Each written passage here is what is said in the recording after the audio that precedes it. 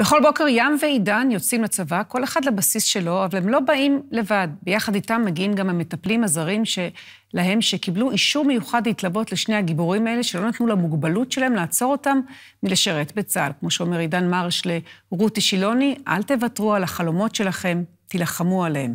התחקיר של יובל ברק, הנה.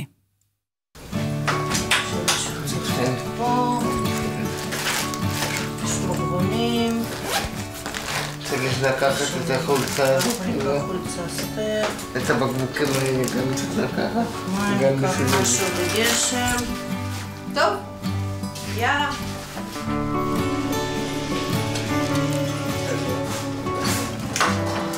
האמנת שהיום הזה יגיע?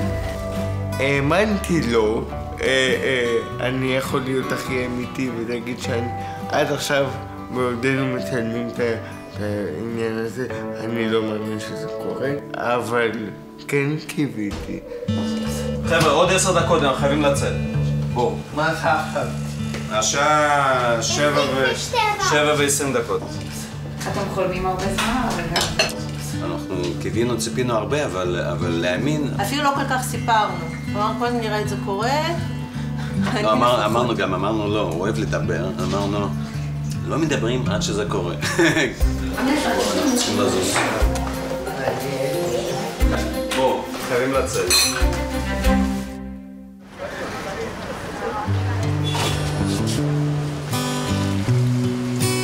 אין ספק שיום הגיוס של כל חייל הוא אירוע מיוחד, אבל אצל עידן, ההתרגשות באמת בשמיים. זה מגיל מאוד צעיר אה, חלום, אה, ואני נורא מתרגש לעשות את זה. כי לא כל אחד יקבל את הזכות הזאת. האמת שאנחנו באמת מתקשים, צבא זה בכלל, אנחנו, זה לא נקלט. לא, זה אנחנו אני חושב עדיין שייקח שם. לנו, כן. אנחנו עדיין שם. זה להיות הורים של חיילים, זה בכלל, זה לא אנחנו. באו להיפרד לא רק אבא ואימא, האחים בן ועומר, גם טניה, המטפלת הזרה שלו מאוקראינה. כבר שלוש שנים שהיא מלווה אותו 24-7. האמת שטניה לא ממש נפרדת. היא דווקא הולכת להתגייס איתו לצה"ל. את מתרגשת? Немножко да. מה בעצם אומרים הרבנים באוקראינה, המשפחה? Никто не может представить, как это будет, э, именно мою роль э, в данном случае. Но все желают удачи. לטניה יש בעל ושני ילדים מקסימים באוקראינה, ובעלה כן שירת בצבא, בצבא האדום בזמנו, ובעלה אומר ש... שתיזהר עם הקצינים החתיכים ב... בארץ ישראל, ו... ושתשלח כל הזמן תמונות. למה אתה הכי מחכה? כרגע זה לעבור באופן טוב אה, ובמאה אחוז את שרשרת החיול, לעלות על מדים ולפגוש אתכם. דני, אני חוזר היום. השכנתה אני לא יאללה, עידני, בהצלחה. תודה רבה. ביי.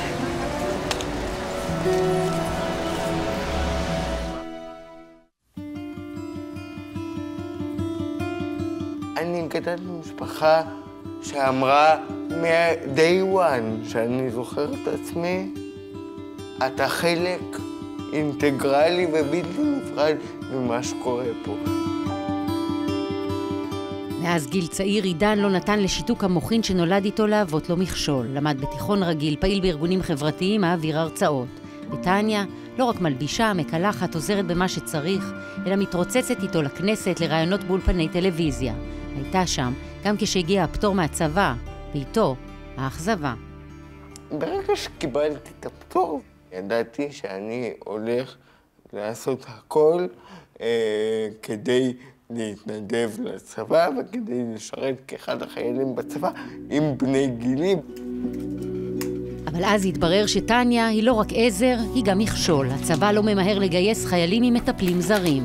עידן לא ויתר, כתב מכתבים, הלך לוועדות, עד שבצה"ל הבינו שיש להם עסק עם בחור עקשן, ואישרו לשניהם להתייצב בבקו"ם. Я была готова к Тому, что я буду служить с ним. Я волновалась, э, потому что я не знала, как это все будет осуществляться, как это все будет проходить. Но я была рада, потому что это осуществлялась мечта Идана. А если ему хорошо, то будет хорошо и мне.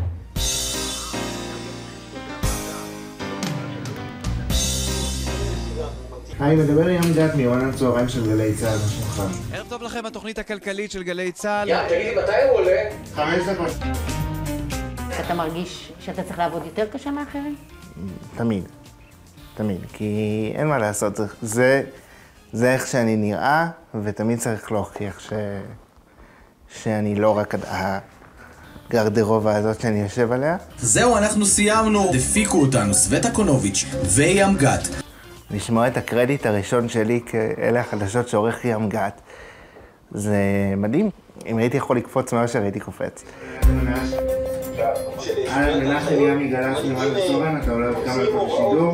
ים גת כבר סוגר שנה ושמונה חודשים בצבא, פזמניק. הוא מפיק ועורך בגלי צה"ל, חולה אקטואליה. גם הוא לא מגיע לתחנה לבדו, אלא מתייצב עם ריק ריק, המטפל הפיליפיני שלו. הוא מכיר את כל השמות של הכתבים בגלי צה"ל, ואת כל מגישים של התוכנית שאני עובד מולם. אני רואה אותו כמו אח גדול שלי, ובלעדיו ללכת לצבא, זה היה להיות עם, עם, עם ההורים שלי בצבא, שאני מאוד אוהב אותם והם גידלו אותי והכל יפה. אבל uh, אף חייל לא אמור להיות עם ההורים שלו בצבא. הוא, הוא באמת מקצר לי את הביורוקרטיה של החיים. גם ים אחרי מאבק קשה הצליח להתגבר על הפקודות היבשות בצבא ולשכנע אותם לתת לו להתנדב עם המטפל שלו. כמעט אלפיים בעלי צרכים מיוחדים משרתים בצבא, אבל רק שלושה עם עובד זר, שלא באמת מתגייס, אלא מוכר כמו אזרח עם אישור כניסה לבסיס. במקרה של ים, גלי צה"ל. יש רגעים שאני לא, שאני כועס, כי כאילו אם בראש שלי אני יכול לעשות הכל, מה לא קורה, מה, מה, למה שהדמיון שלי לא יתנגש עם המציאות? הוא נולד עם שיתוק מוחין, גם הוא למד בחינוך רגיל, סיים בגרות במגמת תיאטרון, וכשהחבר'ה התגייסו ידע שאין מבחינתו שאלה, ויצא לקרב. את כל התהליך, גם של התיכון, גם של הגיוס, אבא שלו, רובי, תיעד בסרט שמשודר ב-yes דוקו, ונקרא לו גיבור. אני חושבת שבעיניי, כאימא, אני כן חושבת שאתה גיבור. בכל הקשיים שאתה מתמודד איתם. גיבור זה מי שקופץ על רימון כדי להציל את החברים שלו. זה לא מי שקיבל מצב נתון וחי איתו, בעיניי. אולי חדור מטרה, אבל לא... אוקיי, יפה. לא גיבור. פניתי על בסיס יומיומי למדור מתנדבים, ושאלתי מה קורה, ומה קורה, ומה קורה. אני מדבר איתך על תהליך של שנה. לכבוד ראש אגף כוח האדם בצה"ל, לכבוד שר הביטחון. אם להסתכל על הצד ההומוריסטי של הדבר, צה"ל דחה אותי כי אני לא יכול להשתין לבד. אני לא כל כך הבנתי למה היה מתעקש להתגייס לצבא. אבל ים אמר, אני רוצה צבא, אני רוצה צבא, אני רוצה צבא, רוצה להיות כמו החברים שלו, רוצה צבא, ולא האמנתי שזה יצליח. כי היו צריכים לשנות תקנות, ביררנו, בדקנו, לא היו, היה אסור לחיילים עם עובדים זרים שבאים איתם, היה אסור להתגייס. מהרגע שהצבא התהפך, זה היה כמו נס. כן, תודה. What you like in uh, the life of Jan? He's a fun guy. What do you think about the army? It's a quiet place in Gaza, and they're nice people. Rick, we love you. I love you very much.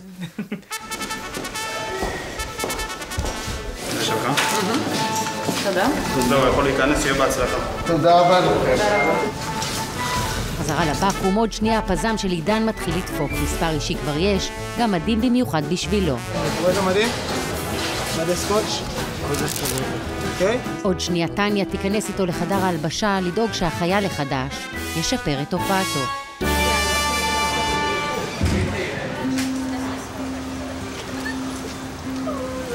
איזה סיכה צרה לו? של מערך הגנה אווירית. עכשיו חלק מאיתנו. או, איך מרגיש במדים? דיברנו על, על, על. את רואה, אין לי אפילו את המילים. מה, אתה מתרגש? זה, זה, זה מעבר למתרגש. המורכבות הגדולה הייתה באמת בסיפור של הניידות והעצמאות. כשיש סייעים, מאוד מאוד קשה בהיבט ביטחון המידע גם את זה לעבור. אבל uh, הנה, עידן מוכיח שכשרוצים אז עושים את זה. אפשר לעשות את זה, מצאנו פתרונות.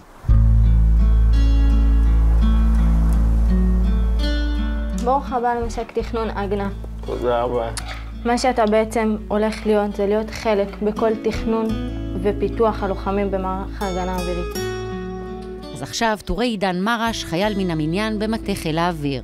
החדר שלו נוקה מסודות צבאיים, ליתר ביטחון אסרו על טניה להסתובב לבדה בבניין, הנחו אותה לא להסתכל על המסכים, למרות שהיא דווקא מתכננת בזמן הפנוי, להתחיל ללמוד עברית.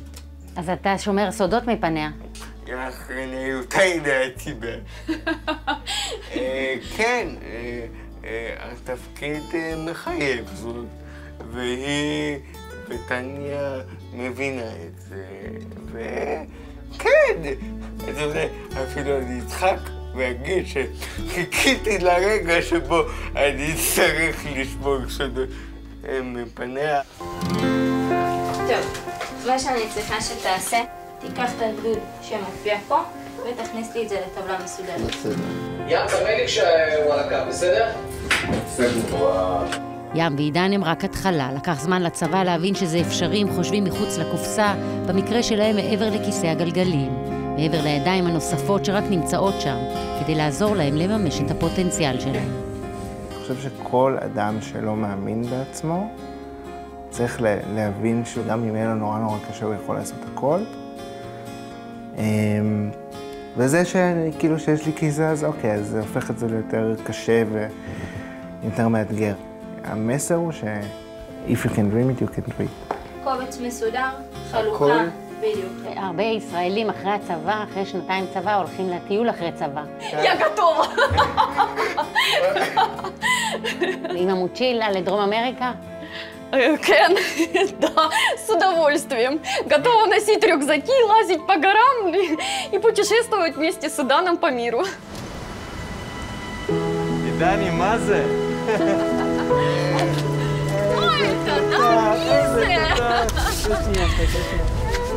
שואלים אותי מדי פעם, איך אתה רואה את עצמך אם לא היית אדם מוגבל? אני אומר, חבר'ה, אני לא רואה את עצמי. זה מי שאני, אני גאה במי שאני, אני גאה במה שהצלחתי אה, אה, להשיג. וזה המסר. אל תוותרו לעצמכם, תאמינו בחלומות שלכם ותילחמו עליהם. איזה גיבורים.